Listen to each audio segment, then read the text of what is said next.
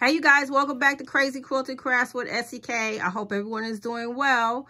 All right, you guys, Esik been blocking. I've been strawberry patching. All right, family, which one is your favorite? I am having a blast over here learning how to do strawberries. Okay, you guys, so which one do you like best, the wide one or the tall one? Okay, so as you can see, they both have two types of stems. Um, the one on the right is the easy one. The one on the left is just a little bit more challenging. It's not hard. I know this is a big strawberry over here on my left side. So this is probably going to be one of my first um, wall hangings as far as a strawberry. So um, I definitely did a lot of freestyling with both blocks, just experimenting. I did enjoy doing um, both.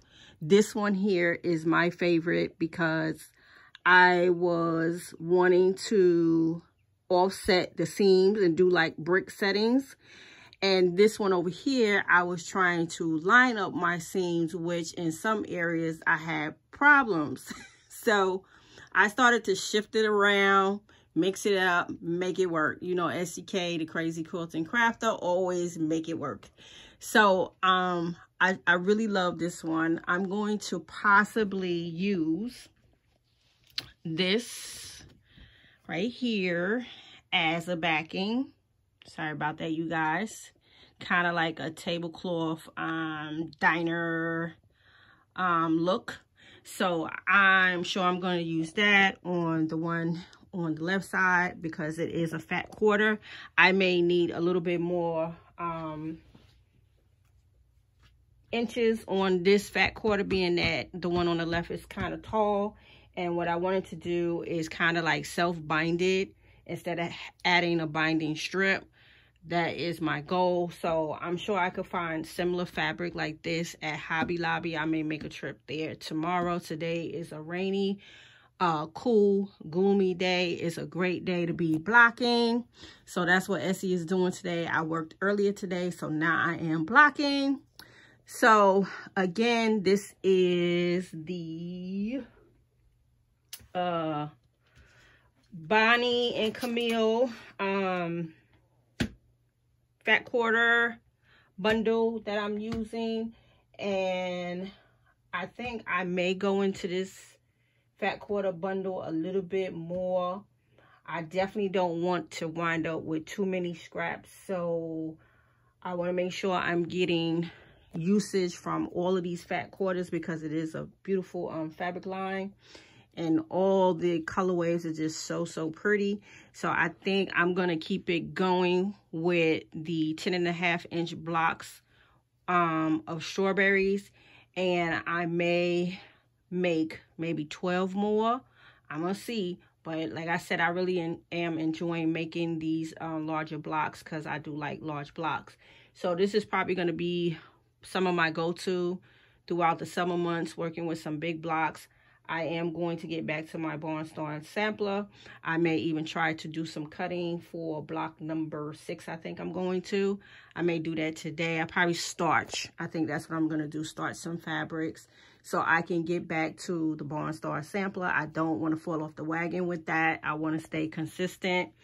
And um, like I said before, it is definitely helping me and a lot of errors. So got to get back to Barnstar Sampler. But again, Essie needed a break. So I took a break to learn how to make strawberries. So um, I've heard people in the quilt world said they use 12 blocks to make a quilt. And I'm sure that is possible if you do some big, large sashing and maybe some big borders. Y'all know I like big borders, so I may get away with that, but I'm still undecided if I want to make a big quilt or if I want to break it into maybe uh maybe four between four and six runners to where I can actually share um my craft more with um people using the strawberries. So y'all make sure y'all comment below. Let me know which block you like um, comment below and let me know about the fabric that I just showed you guys. I'll give y'all a glimpse of it again as far as backing. So I think I'm going to use this right here. I really like that. It's pretty.